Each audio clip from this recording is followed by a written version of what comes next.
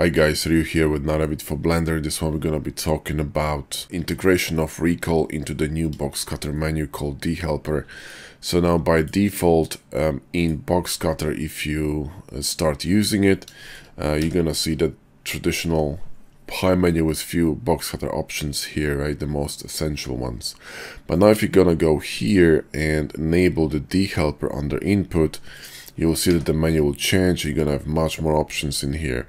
What we're going to be talking about today is this collection option here. And if I expand it, you can see there's a cutter recall uh, options here. We're going to talk about that. So First of all, the cutter collection can change color if you want to, and this collection is created by box cutter by default when you create a cutter. So if you watch here, if I'm gonna draw a cut, you see that automatically box cutter creates collection of cutters and moves all the cutters to that collection. So then when you uh, want to scroll through the cutters, you're going to be scrolling through these.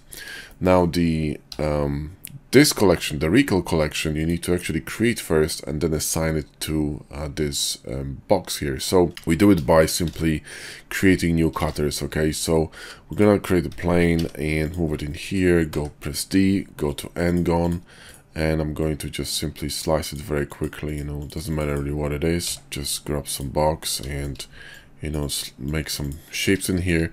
Then I'm gonna grab this shape press M new collection and cutter plus okay?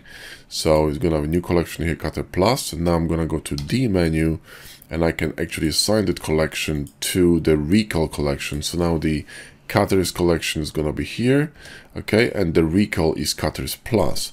So now the way it works is that when you select the shape and press D and let's say we're gonna be in this box mode still, uh, we're gonna start drawing a shape here, cut it, press tab and then D you can actually scroll through the cutters using these arrows, but you can see nothing is happening. And I think it's a bug because uh, it doesn't work with one cutter, you need to have at least two.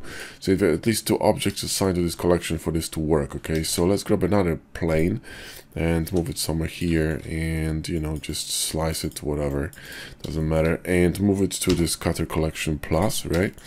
And then when I'm gonna draw a box, right? And press tab and go to D start scrolling. Now it's working okay? So it's gonna work with more than one shape in that collection at the moment. So now you can either do it through the d helper menu so press tab d and then just scroll or you can just um, hold alt and scroll through shapes like this. So you hold alt when you're drawing and scroll through shapes. This is kind of a really cool way of uh, sort of creating custom cutters on the fly. And instead of using a custom cutter, you can simply change the shape of a cutter into something a bit more custom. Anyway, that's it for this video, guys. Hope you enjoyed it. Give us a like and sub if you did. Links to HardOps and Box Cutter in the video description. Also, check out our Patreon. We have some fantastic content this month. There's a really cool sci-fi like a steam gun. And next month, there's a really cool sci-fi uh, medical device and uh, really nice decal pack as usual. And next month we have a an amazing truck uh, tutorial coming with the full-on modeling tutorial and concept and Photoshop editing and whatnot. It's gonna be really awesome. So thanks for watching. See you soon.